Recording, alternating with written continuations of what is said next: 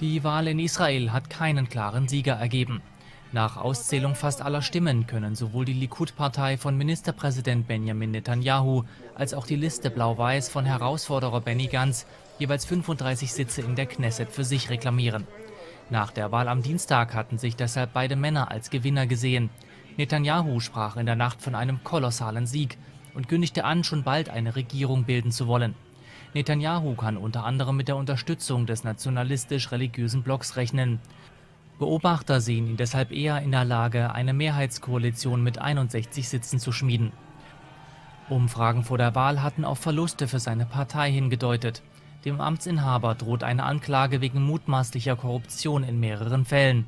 Allerdings konnte Netanyahu zuletzt außenpolitische Erfolge verbuchen. So erhielt er Unterstützung von US-Präsident Donald Trump, der die US-Botschaft nach Jerusalem verlegte und die Golanhöhen offiziell als israelisches Staatsgebiet anerkannte. Israel hatte das Gebiet 1976 von Syrien erobert und 1981 annektiert